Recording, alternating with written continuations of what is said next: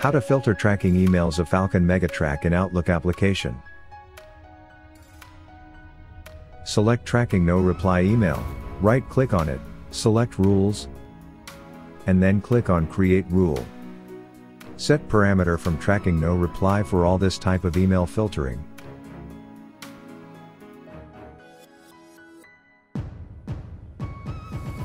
Set action move the item to folder for all these types of emails.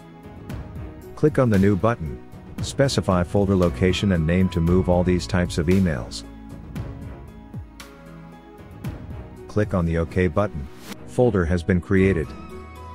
Now click on the OK button. Check the box if you want to apply this rule on existing emails, and click on the OK button. All existing emails of tracking no reply are being moved to the tracking emails folder.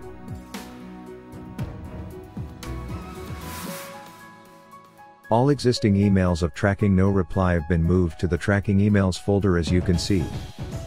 A filter has been created for all incoming and existing tracking no reply types of emails.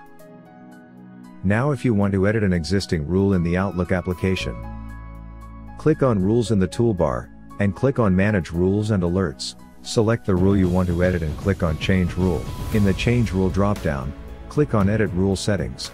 Here in Rules Wizard, you can specify different conditions or parameters on which you want to filter this type of emails. Here you can specify different actions for a specific type of emails. You can add multiple exceptions for a rule.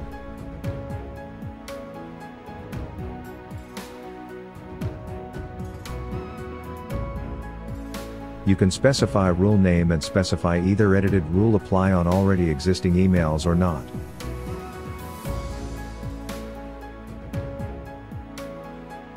And click on Finish button. Existing rule has been edited and changed. For further assistance send an email to support at falconmegasolutions.com. Thanks for watching.